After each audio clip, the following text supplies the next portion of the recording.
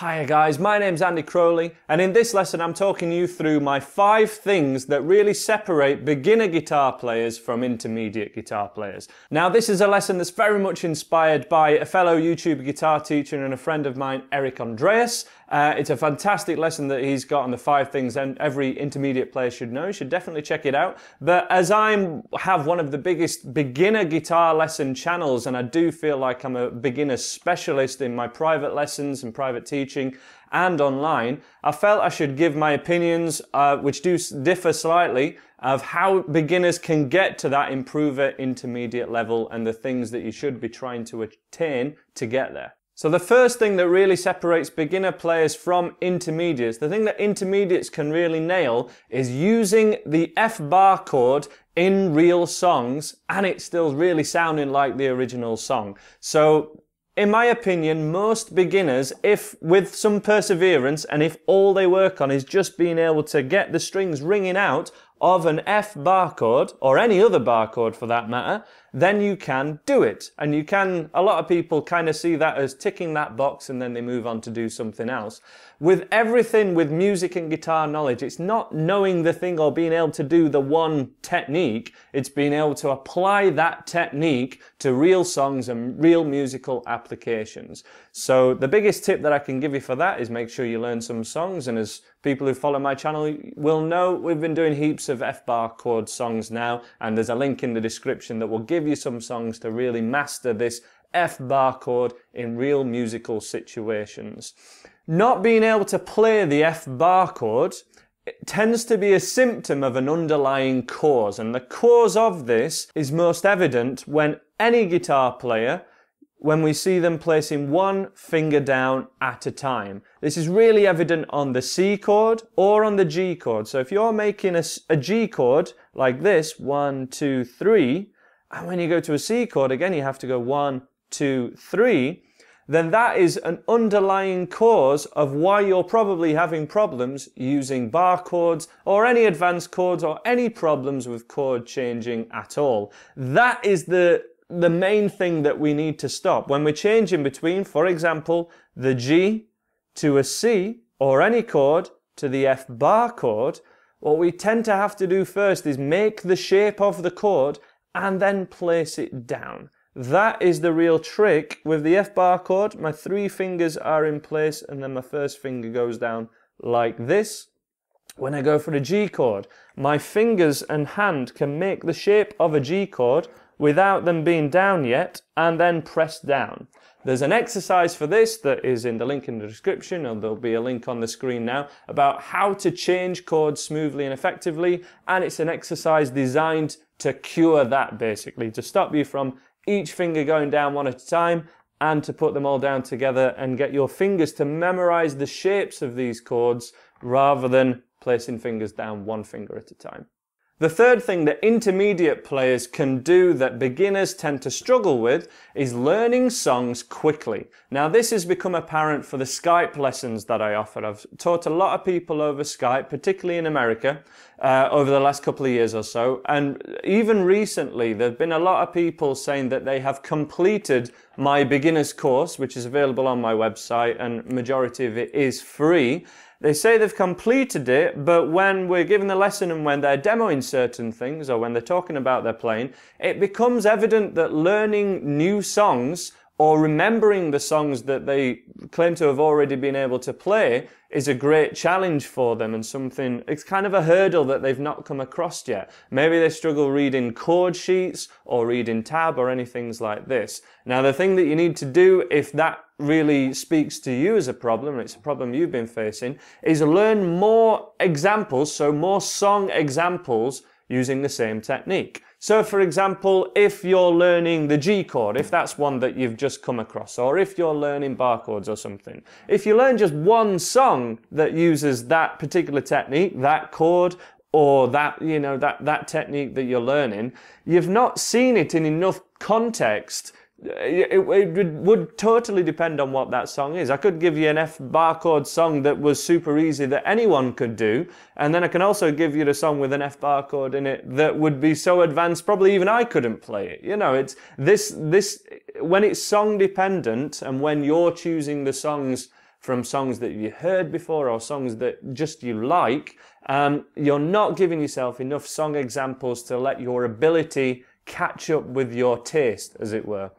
So I'd follow certain recommendations or search out songs um, on my website's a great example, but you don't have to stick to my website. Of course, YouTube's there and, and other websites are available.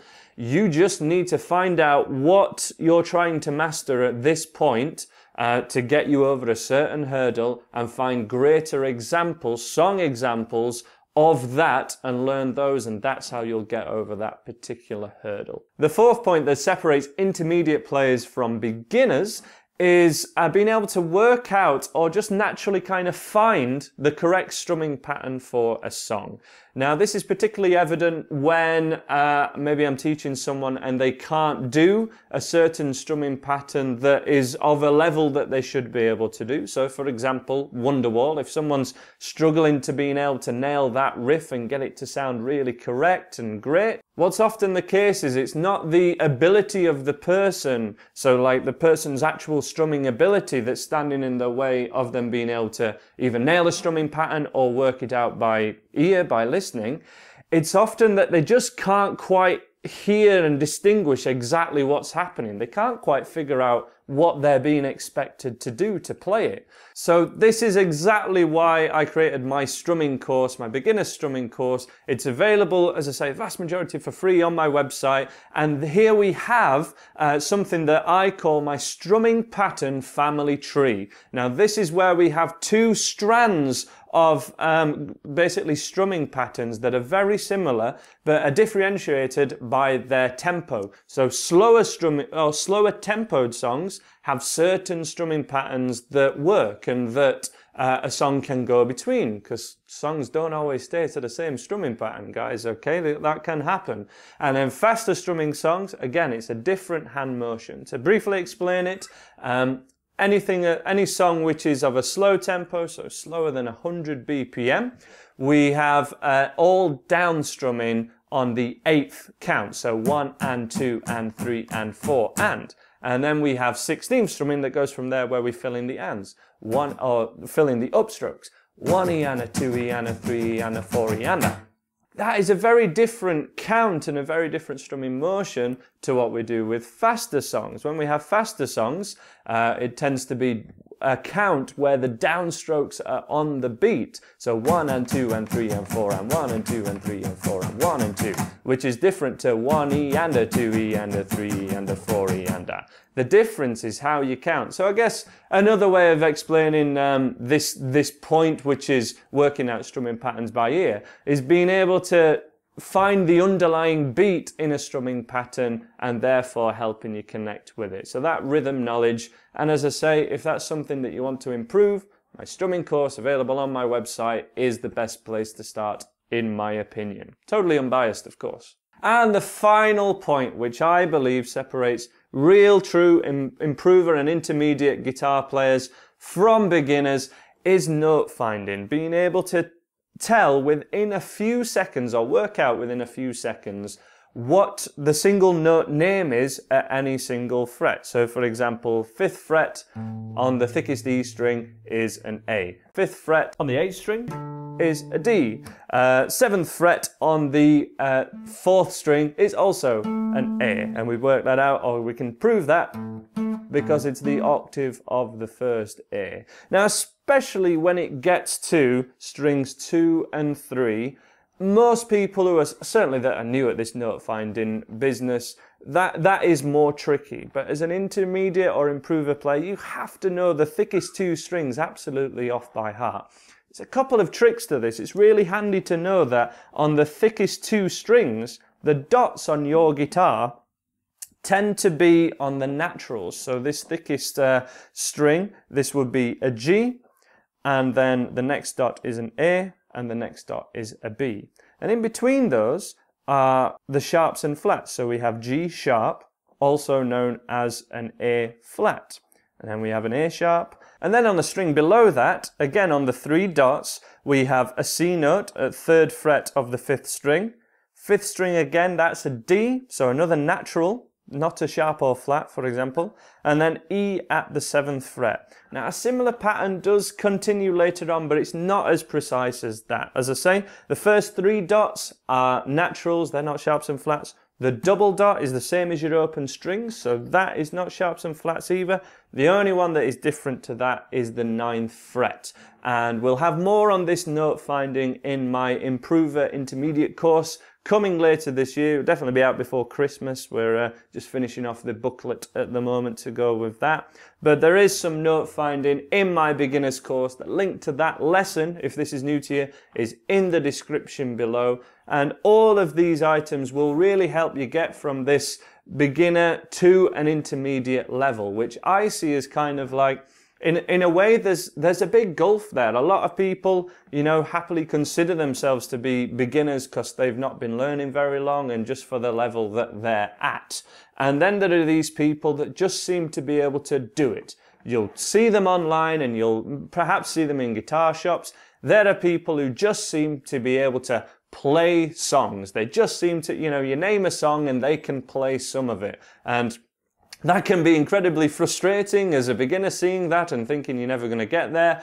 Or it's also a case that, okay, I know that's going to take some work, but how do I get to that level? And in my opinion, this, this gulf of uh, what I would call improver sort of lessons is what I'm filling in now on my channel. So we have beginner lessons already. There's a lot of intermediate lessons on YouTube and a lot of guitar teachers offer that and a lot of the content is for free. But there's this gulf in the middle, which is an improver level. And that is my mission for this year to get people from this beginner's level, from the end of my beginner's course, for example, up to and, and improving and mastering this intermediate level. This is where I am. If that sounds like you guys, please subscribe and I promise we will get you there. And the majority of my lessons are for free on my website and on YouTube andyguitar.co.uk and we do have these bonus extras available that are coming on the DVD and download products. Uh, but that is my mission for this year. I hope you sign up and join the journey with me. Please subscribe Check out those other lessons if one of those was of interest to you, and I will see you again. Take care, guys. Bye for now.